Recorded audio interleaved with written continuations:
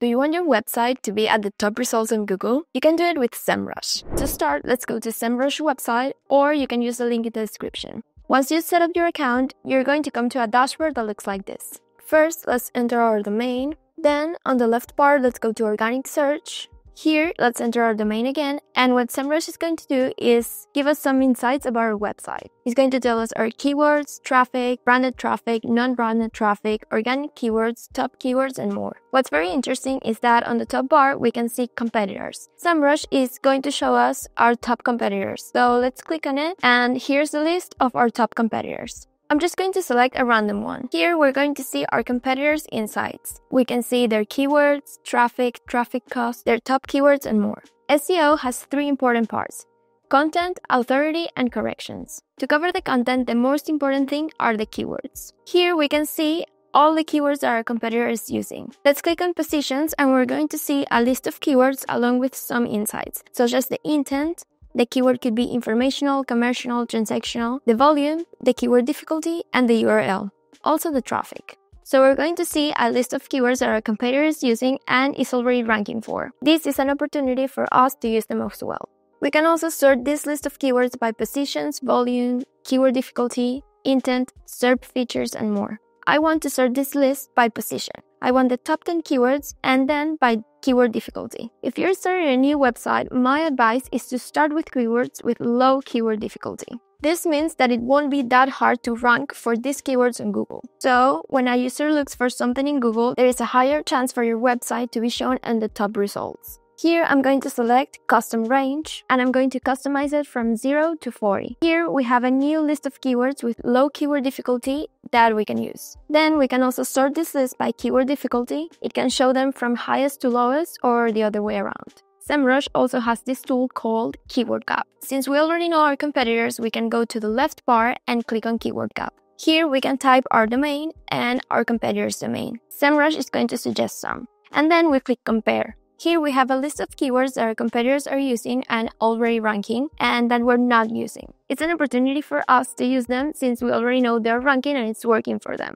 Here we can also see the volume and the keyword difficulty. This means that if we use these keywords, it's very likely that uh, our website will be ranking. Another tool for keywords is the Keywords Strategy Builder. Let's go to the left bar and click on Keywords Strategy Builder. And since we already have an idea of keywords that we can use, we can type them and then click on Create List. This will take a minute. SEMrush is going to create content pillars along with subpages. This will give us ideas of one we can write about to rank on Google. It will also give us some insights such as the intent, the keyword difficulty, and the volume. It also tells us which ones have the highest ranking potential. We can select one that we like best, and these are all content ideas that we can write about to rank on Google. If we find one that we like, we can go to Write Content on the right, and SEMrush is going to take us to the SEO Writing Assistant. Let's click on Send Keywords, and this will analyze our content. So, for example, Let's take the keyword that we selected, go to Google and search it. I'm going to click on one of the top results. Then let's copy the URL and import it here. It's going to take into consideration the readability, the SEO, the originality, and even the tone of voice. And it will give us an overall score for how good the content is. Also, if you keep scrolling on the right, SEMrush is going to give us some suggestions on how to make our content better. There is other feature called Keyword Magic Tool. Let's go to the left bar and click on it. And here we can type a general keyword. For example, we want to write about grow your business. This is going to show us a list of other keywords that are related to the keyword we just typed. So we'll have a lot of other keywords that we can include in our content and their ranking too. Here we can also sort the keywords by keyword difficulty. So I'm going to sort them from 0 to 30.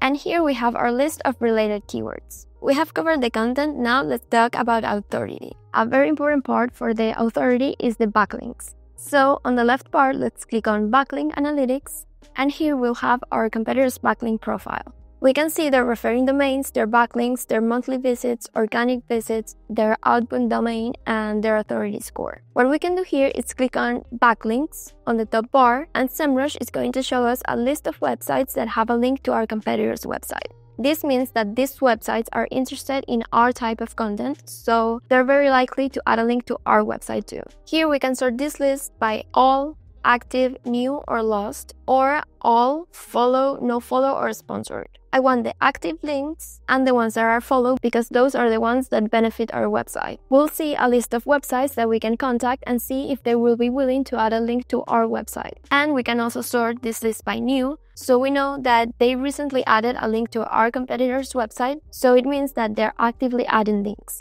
When other websites add a link to our website, it benefits our backlink profile and therefore our authority. Here's an example of a very good website that already has a link to our competitor's website, so we can contact them and ask them for a link insertion. Lastly, we have corrections. We have to remember that SEO is not a one time thing but an ongoing thing. So we have to be aware of any errors, warnings, or problems that might show up and we have to fix to make our website better and keep it up to date. To do this, SEMrush has this tool called Site Audit. So let's go to the left bar and click on Site Audit. Here we're going to type our domain and click on Start Audit. Let's set this up. Here we're going to type our domain and select if we're going to crawl our main domain or all of our subdomains too. I'm just going to crawl the main domain. Here we can select the number of pages that we have and then crawl source. Then we can also go to crawler settings. Here we can allow or disallow URLs, remove our URL parameters, we can bypass website restrictions. This is optional, so I'm going to leave it like that. And we can also schedule the crawling. If you want to start it right now, click on Start Site Audit. What this is going to do is crawl our website and find any errors, warnings, or notices. It will also give us some insights such as internal linking, international SEO, performance, core web vitals, and much more. The important thing is that it will give us an overall site health score so you can see how your website is doing and it will also point out errors and warnings that you'll have to be aware and fix to, in order to make your site better. We have covered the basics of SEO and what you can do with SEMrush. If you're creating a new website, you might want to start with a domain. You can check out our video about how to get it right here or if you want to know how to build your website, you can check out our video about the best website builders right here. And I hope to see you in another video. Bye!